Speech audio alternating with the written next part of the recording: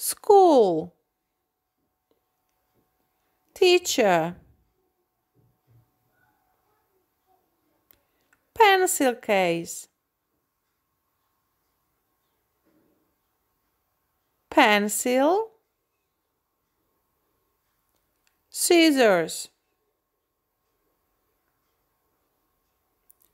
School bag. Ruler chair desk.